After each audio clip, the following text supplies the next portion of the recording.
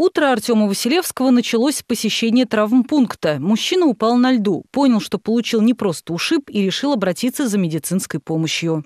С самого утра что-то не пошел день, забрали машину, на стоянку. Вот, пока забирал машину, вот, буквально там около машины упал на лед голый, вот, и не успел ничего сделать, не загруппироваться, ничего.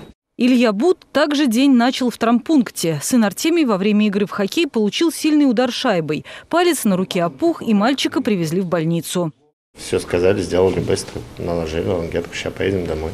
Ежедневно только в травматологическое отделение больницы Пирогова поступают несколько десятков человек с ушибами, растяжениями и переломами. Медики говорят, в этом году возраст пациентов в основном до 40 лет, так как для пенсионеров действуют особые ограничительные меры и многие на самоизоляции. Поэтому с начала зимы люди этой возрастной категории обращаются реже.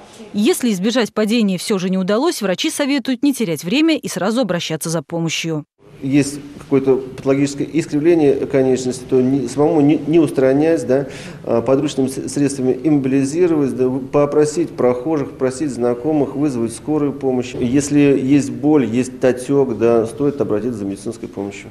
Специалисты напоминают, здоровье горожан прежде всего в их руках. Чтобы не травмироваться, обувь лучше выбирать на толстой подошве. И чем мягче материал, тем устойчивее обувь. А оказавшись на скользком участке дороги, идти лучше маленькими, но уверенными шагами, наступая всей стопой. Лариса Шлафаст, Максим Гусев. События.